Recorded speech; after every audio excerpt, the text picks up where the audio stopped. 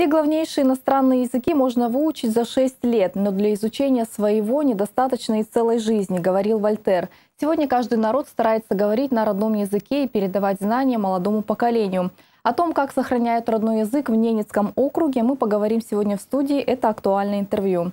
Я хочу представить наших гостей. Главный консультант отдела по делам коренных малочисленных народов Севера, Комитета по делам коренных малочисленных народов Севера и национальной политики Департамента региональной политики Марина Тайбарей и заместитель директора этнокультурного центра Ненецкого округа Ольга Латышева. Здравствуйте, Марина Мартыновна, Ольга Ефремовна. Здорово. Саграмбада, округ Хибери.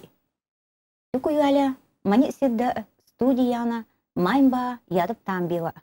Здравствуйте, уважаемые друзья, жители Ненецкого автономного округа. Сегодня мы рады вас приветствовать в этой студии. Как приятно слушать родную речь, тем более это не часто бывает. Э, ну, как мы знаем, центральное событие в сохранении ненецкого языка — это Дни ненецкой письменности, которые проводятся в регионе уже с 2002 года. Какие основные мероприятия в этом году?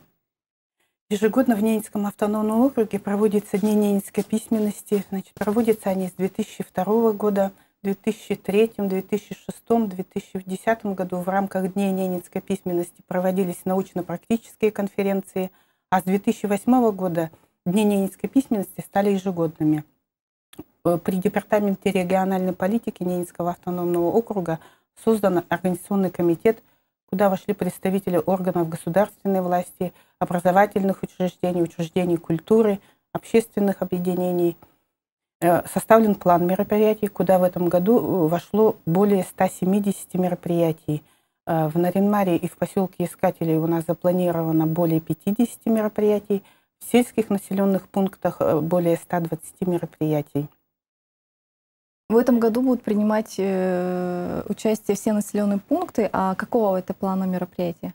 А мероприятия в этом году у нас различные. В Наринмаре у нас будут проходить знаете, марафоны в школах ненецкого языка, выставки картин, выставки книг художников.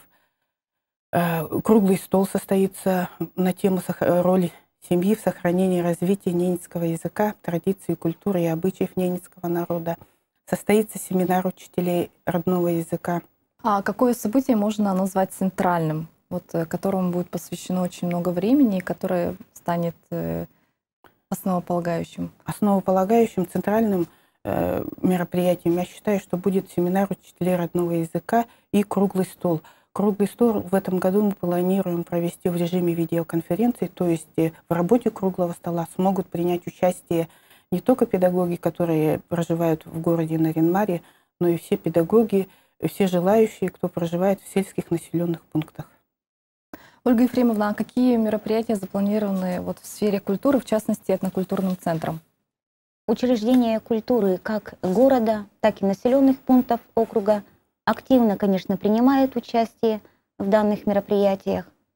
И если взять э, план любого учреждения, Конечно же, там уделяется большое внимание мероприятиям по э, сохранению и пропаганде ненецкой культуры, ненецкого языка.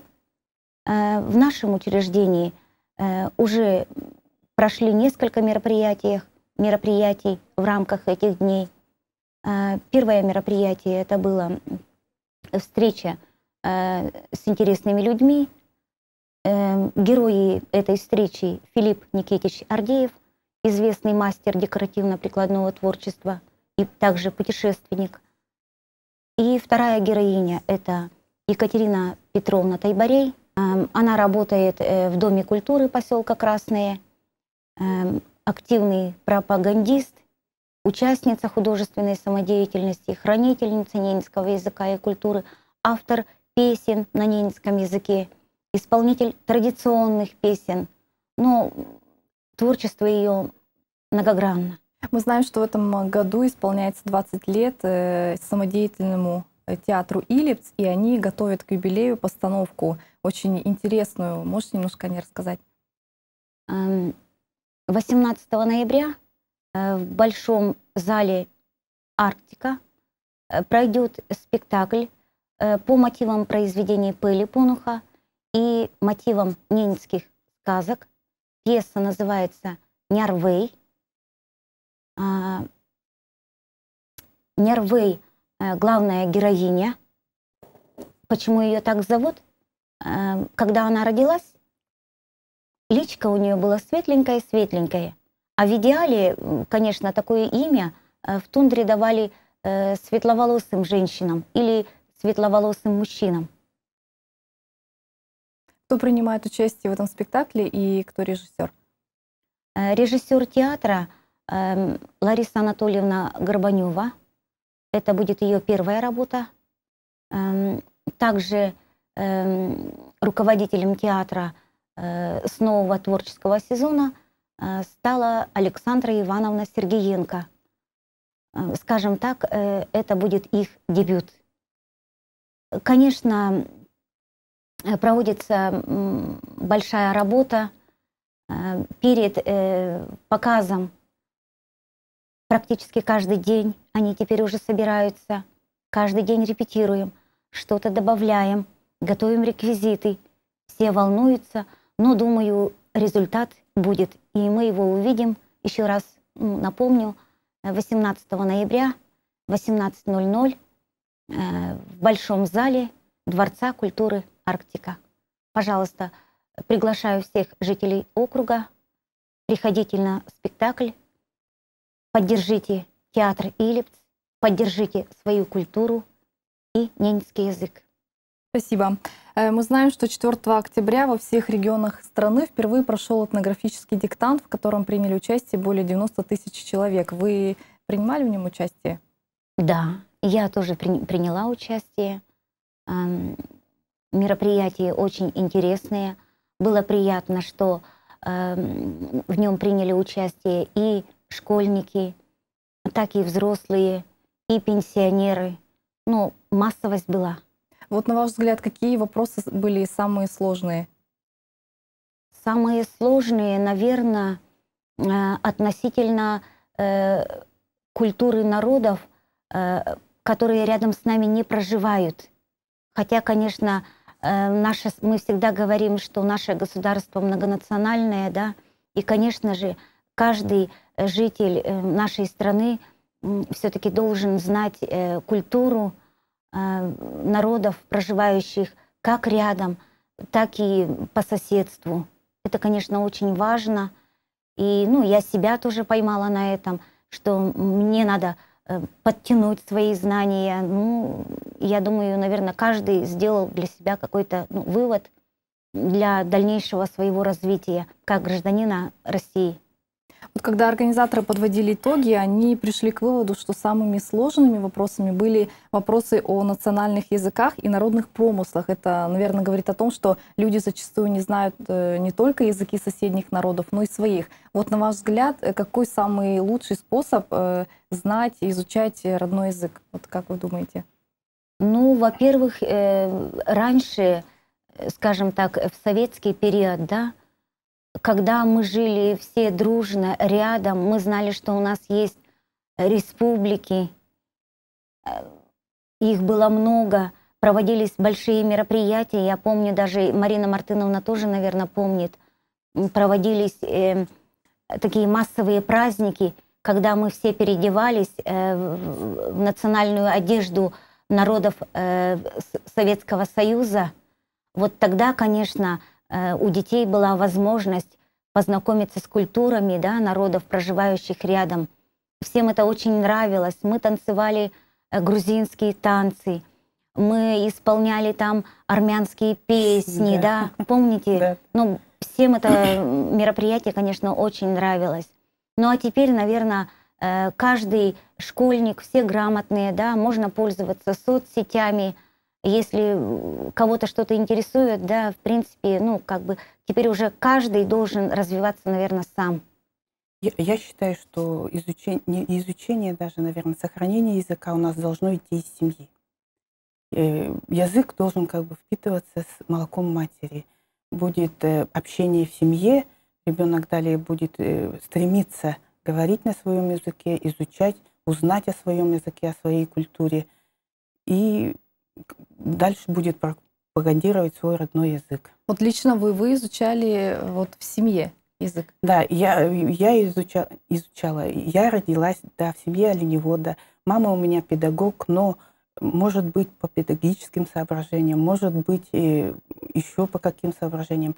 До семи лет я не знала ни одного русского слова. В школу я пошла, хорошо в школе были педагоги, знающие немецкий язык. Ну, через месяца два мы уже спокойно говорили на русском языке, и общение у нас пошло уже на русском языке. Дома мы стали меньше говорить на родном языке. Общались мы в основном только когда выезжали в тундру. Поэтому я считаю, что хоть и в школе изучается родной язык, уделяется большое внимание, проводится масса мероприятий, но язык должен идти из семьи. А вот сейчас, когда вы живете вот в русской среде, как вам э, удается поддерживать уровень языка и не забывать его? Ну, сейчас общение, конечно, меньше. В силу обстоятельств мы все общаемся на русском языке, но стараемся, когда я приезжаю к родителям, я общаюсь на родном языке. Очень часто я бываю в семейно-родовой общине ЯМТО, уникальное общение, где общение идет только на ненецком языке. Вот там у меня хорошая практика, а там я говорю только по-ненецки. Там еще остались дети, которые... Есть дети, которые не понимают русского языка? Э, есть дети, есть, с которыми говорят только на ненецком языке. Родители общаются с ними на ненецком языке. Но это в основном дети дошкольного возраста. Детишки, которые идут в школу, они уже имеют представление о русском языке, скажем так, и уже могут общаться на русском языке. Но опять-таки большая вероятность, если они уедут в Наринмар учиться в школу, то они потеряют навык. Если и навык есть, я считаю, он не может быть потерян, просто необходима практика, необходимо общение, необходимо создавать языковую среду в Наринмаре. Вот э, этноцентр у нас очень хорошо занимается этой пропагандой, популяризацией языка. У нас э, в округе существует самодеятельный театр Илевцы, где выступают только носители ненецкого языка, владеющие родным языком. Поэтому в городе тоже можно найти общение. А если говорить вот э, о преподавании ненецкого языка в школе, то как много у нас таких э, школ и вообще насколько он э, активно преподается? Ну, изучению ненецкого языка в округе уделяется большое внимание. И ненецкий язык на сегодняшний день, 2016-2017 учебный год, изучается в 12 образовательных организациях. Это значит, у нас две школы в Наринмаре, санаторная школа-интернат, и средняя школа, интер... школа имени Пырерки. И остальные школы находятся в населенных пунктах округа. Также в трех э, детских дошкольных учреждениях. Это детский сад поселка Нальминос, детский сад поселка Бугурино и детский сад поселка Красное. Всего язык изучают э, более 700 ребятишек. Преподавателей ненецкого языка у нас на сегодняшний день тоже достаточно. Э, по картотеке Ненецкого регионального центра развития образования в округе у нас 32 педагога, преподающих ненецкий язык. Ну, недостатка нет в педагогах? Ну, недостатка нет в педагогах. Э, ну, в основном, сама я делала статистику, средний возраст педагога у нас, преподающего ненецкий язык, 47,5 лет. Уже взрослый человек. Ну, обучение, э, уч, обучение учителей – осуществляется у нас в Институте народов Севера Российского государственного педагогического университета имени Герцена. В этом году у нас э, поступила девочка с НИСИ, Бобрикова Маша, которая в совершенстве владеет ненецким языком.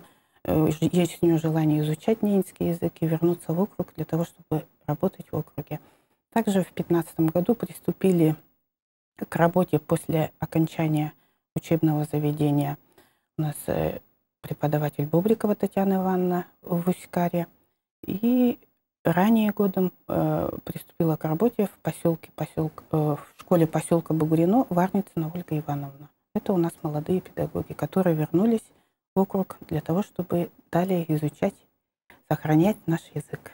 А если говорить об обеспеченности методическими пособиями и книгами, то здесь как ситуация обстоит?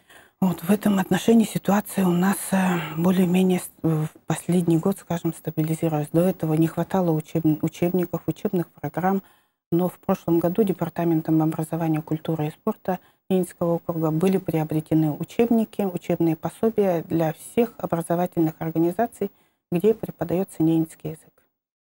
А есть ли необходимость выпускать новые, там, современные, усовершенствованные? У нас не так много э, людей, которые пишут, вот в частности Роза Ивановна Конюкова. Ну, в 2014 году по программе сохранения и развития коренных малочисленных народов Севера были приобретены учебники Розы Ивановны Конюковой.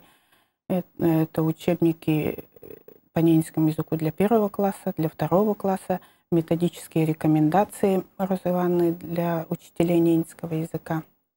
Ну, на сегодняшний день это достаточно.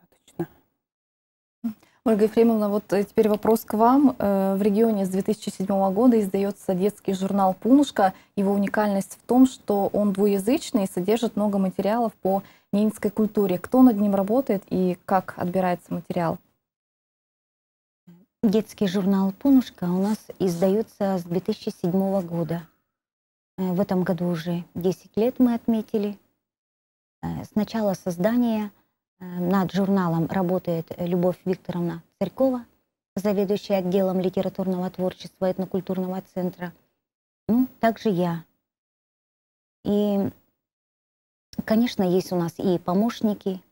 А, мы обращаемся к работникам культуры, э, также работникам сферы образования.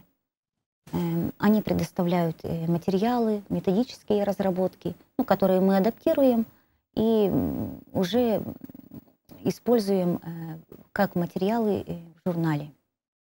Э, конечно же, мы стараемся, чтобы журнал был доступен детям, интересен, учитываем возрастные особенности, да, и журнал у нас мы выпускаем познавательной, познавательной игровой форме стараемся. Там материалы как познавательного характера, используем конкурсные задания, ребусы, э, сказки, стихи детские. Стараемся использовать побольше рисунков, рисунков самих детей. И, в общем-то... И в этом году даже к первому сентября издали специальный номер «Пунушки». Да, в этом году э, первоклассники получили замечательный подарок, красочные иллюстрированные издания и, в общем-то, э, конечно же, он был подготовлен именно для первоклассника. Издание получилось хорошее, ушло на расхват. До сих пор люди спрашивают. Но вообще надо сказать, что журнал пользуется большой популярностью. Э, не раз отмечался э, грамотами и дипломами всевозможных конкурсов. Эм, одобрен специалистами в области языка и культуры – Мария Яковлевна Бармич очень хорошо отзывается о нашем журнале. Учителя многих школ используют его. Ну, конечно, тираж небольшой для нашего округа. 700 экземпляров – это, конечно, маловато. Первоначально он э, выходил эм, экземпляром, тиражом, то есть 500 экземпляров. Но в дальнейшем, может быть, э, доведем его до тысячи. Какая еще литература издается? Может быть, художественная, проза, поэзия? Вот, э, э Значит, э, у нас в этнокультурном центре есть такой интересный исследовательский проект «Яд Маковна». Эм, он уже работает у нас третий год. В 2015 году мы побывали эм, в населенных пунктах Несь, Ома с целью сбора фольклорного и этнографического материала. И материал уже обработан. Сейчас мы ждем э, уже возвращения книги. Если будет все хорошо, э, то в декабре у нас э, запланирована презентация книги по материалам исследовательского проекта «Ядмаковна. Очень интересный проект, наверное. Расскажите поподробнее, как проходило исследование и кто носители вот этой вот традиционной культуры, этого фольклора?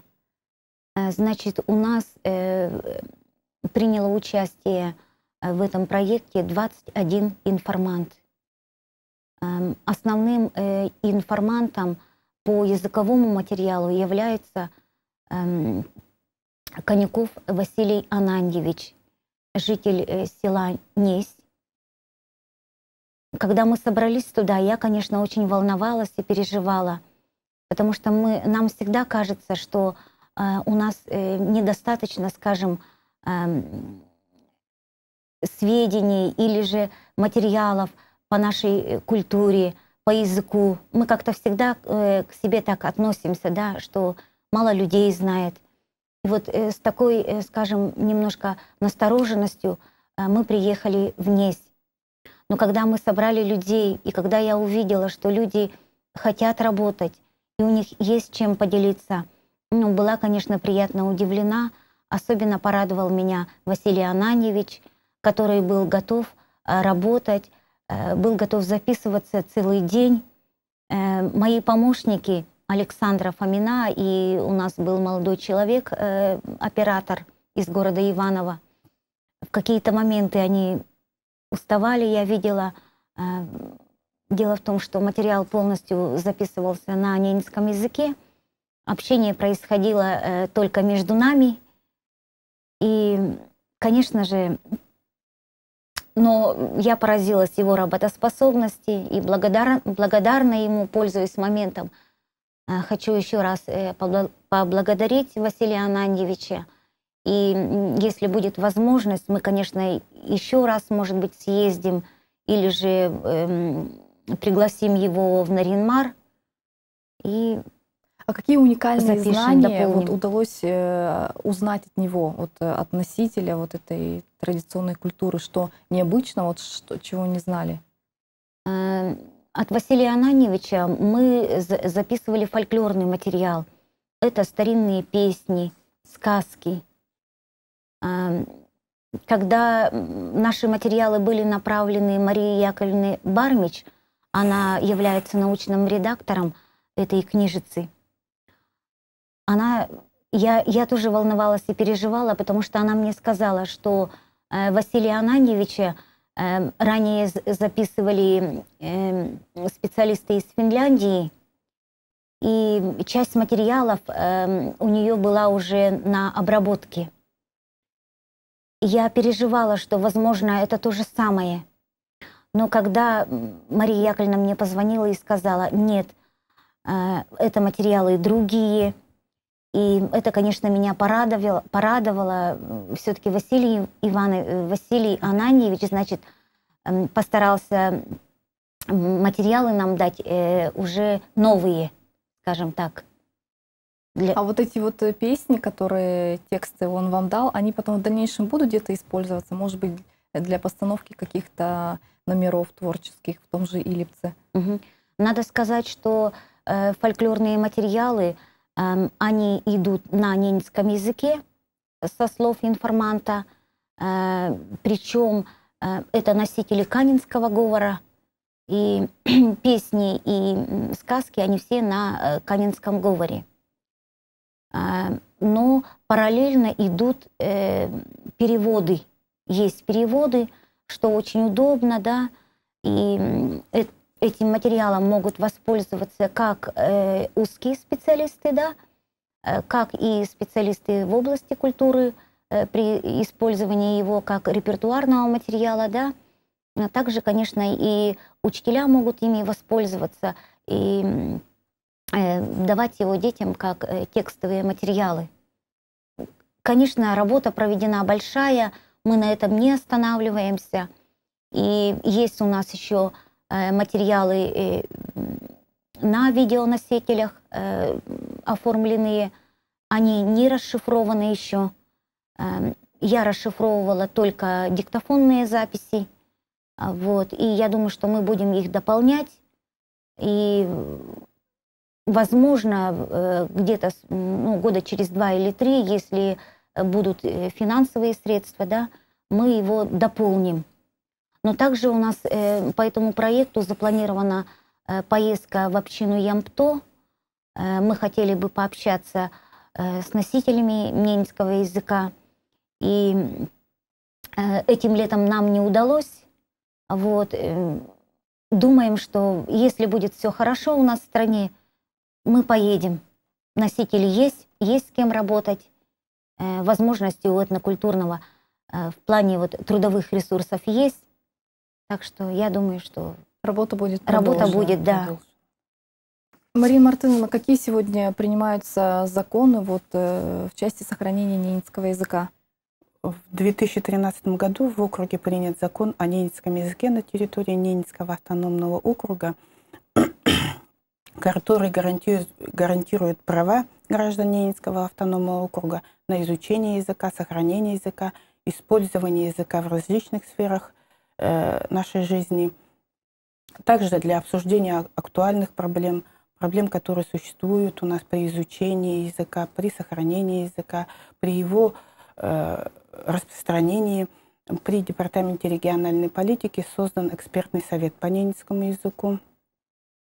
А, в законе об образовании Ненецкого автономного округа установлен ряд положений, который гарантирует э, право граждан на изучение ненецкого языка, на право выбора языка, языка преподавания языка, воспитания и и, значит, э, еще язык у нас используется э, в средствах массовой информации.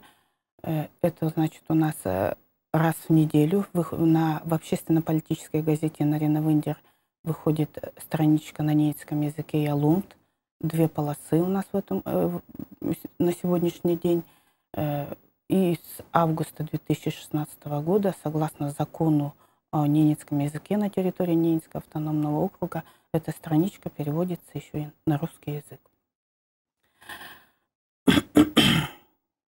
Также в апреле этого года принята концепция устойчивого развития коренных малочисленных народов Севера в Ненецком автономном округе на 2016-2025 годы. И в плане реализации концепции отдельной строкой заявлено э, о необходимости создания условий для активного распространения языка, достижения коренными малочисленными народами Севера э, высокого владения родным языком. А, в рамках реализации закона об образовании Департаментом. Э, Департаментом образования, культуры и спорта принимаются а, подзаконные нормативно-правовые акты, которые направлены на поддержку преподавания родных языков э, в национальных школах округа. Э, давайте вернемся к теме сохранения языка. Вот какие еще мероприятия вот на культурном центре проходят э, для сохранения родного языка? Одно из э, приоритетных направлений работы э, в области сохранения и развития ненецкой культуры – работа с семьей. В общем-то, мы стараемся все мероприятия э, проводить таким образом, чтобы принимала участие вся семья. Марина Мартыновна говорила о роли семьи. И если взять такие мероприятия, мят теран вада, язык в моей семье. Затем у нас есть мероприятия хорошие тоже, супергерои стойбища, в котором принимает участие вся семья от мала до велика. На этих мероприятиях мы проводим конкурсно-игровые задания, связанные с ненецким языком, с ненецкой культурой, этнографией в целом, да. И они показывают, что они интересны детям, когда они вместе с родителями э, бок о бок разговаривают, да, общаются на родном языке. Спасибо, Марина Мартыновна, Ольга Ефремовна, что пришли к нам в студию. Аркавада, спасибо. Ненсявадава мнеза, летравида, нерняку минреза. Дорогие жители округа, любите, берегите, сохраняйте ненецкий язык. Я напомню, что сегодня у нас в студии были главный консультант отдела по делам коренных малочисленных народов Севера, Комитета по делам коренных малочисленных народов Севера и национальной политики Департамента региональной политики Марина Мартыновна и заместитель директора этнокультурного центра Ненецкого округа Ольга Латышева. И сегодня в студии мы говорили о сохранении родного языка в Ненецком округе. Это актуальное интервью. До встречи.